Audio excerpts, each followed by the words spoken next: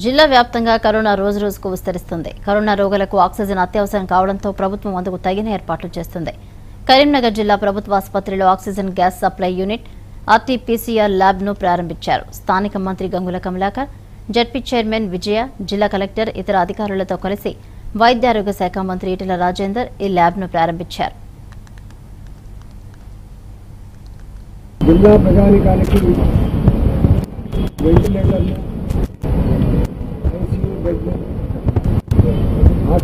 oxygen బెడ్లు పూర్తి స్థాయిలో ఇక్కడే అందించాలని పూర్తి స్థాయిలో చికిత్స కూడా ఇక్కడే భరించడం ఉద్దేశిస్తే కరీంనగర్ హాస్పిటల్లో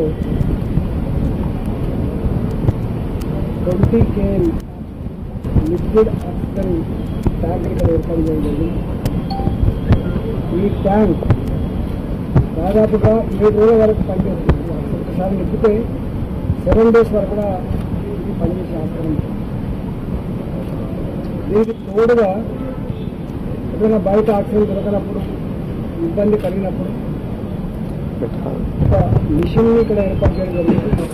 ఈ ర్యాపిడ్ కిట్లలో అప్పుడప్పుడు సింటమ్స్ ఉన్నప్పటికి కూడా రిజల్ట్ రావట్లేదు అనేటువంటి ఉన్నది కాబట్టి ఒక శాతమో అర శాతమో అక్యురేట్ రిపోర్ట్